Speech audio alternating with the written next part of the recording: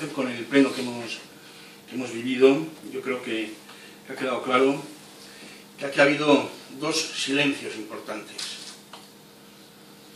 Nadie ha refutado los argumentos que he expuesto respecto a que no se puede llevar a cabo una, una comisión de investigación con garantías. Nadie ha refutado ese argumento. En segundo lugar, nadie ha respondido al emplazamiento que he hecho de eh, crear la comisión de investigación dentro de este mismo año, pero una vez se hayan celebrado las elecciones con tiempo suficiente para hacerlo, para hacer la comisión de investigación para que trabaje con debidas garantías. Nadie ha respondido a los argumentos que son fundamentales.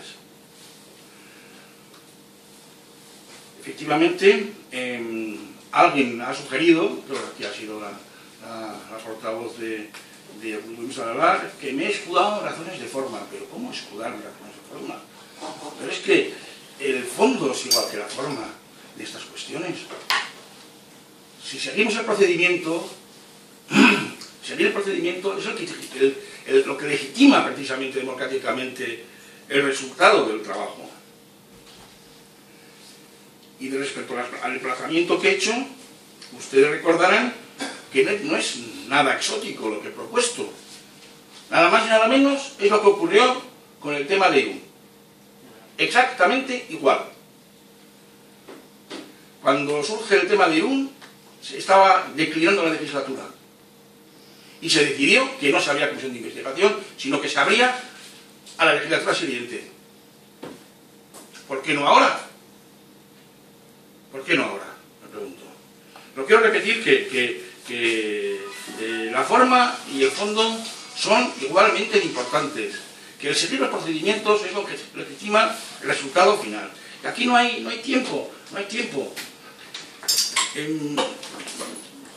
Voy a repetir un poco los, los pasos que se tiene que dar una, una comisión de investigación. Y ustedes mismos pueden juzgar esto es imposible. Bueno, los pasos son, el primero, tiene que, una vez que se, constituya la comisión de investigación, tiene que solicitarse información escrita. Por lo visto, debe haber algo más de sistemas sólidos. Debe subir. Y eso antes de que comparezcan las personas. Y antes de que comparezcan, debe examinarse esa documentación. Examinarse con rigor y con seriedad. Después, tiene que eh, hacerse un análisis de lo que, te, sea integral, tanto de las, eh, testificales que vengan aquí, como de la documentación a través de los de diarios de sesiones. Después tiene que abrir un periodo para que se elaboren las conclusiones. Después tiene que ir, una vez que se elaboran las conclusiones, tiene que ir a una mesa, después a un pleno. Es que no hay tiempo, no hay tiempo para hacerlo. Y lo digo, y lo digo en serio, y con conocimiento, y con conocimiento de causa. Pero es que además es la propia, la propia eh, Bildu y Aralar los que han reconocido este hecho.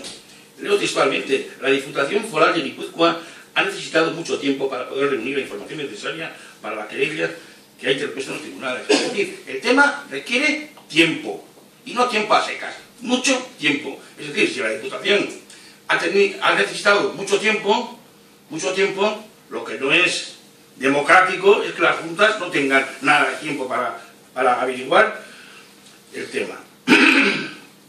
Repito, no nos negamos a, investigar, que se haga en la siguiente legislatura, que no es, eh, que es ya, que es ya. Estas juntas se cierran el 31 de, el 31 de marzo. Por último, quiero señalar, bueno, perdón, dos, dos precisiones. Primero, quiero señalar que a nosotros, sabiendo, y todos van a entender perfectamente todos ustedes, sabiendo que el resultado iba a ser a favor de la creación de la Comisión de Investigación, perfectamente podíamos hecho un postureo y decir que sí y tal y cual. Pero eso no va con nosotros. Nosotros tenemos principios. Tenemos principios. Y, somos coherentes con lo que hacemos y con lo que decimos. ¿eh? Y por último, pues volver a felicitar a Bildu porque ha cogido en este camino a un, a un compañero de viaje, como es el Partido Popular, que es muy, muy, muy, muy eficaz y muy, y muy comprometido en estos temas de comisiones de investigación. Realmente les felicito, han cogido al mejor compañero de viaje.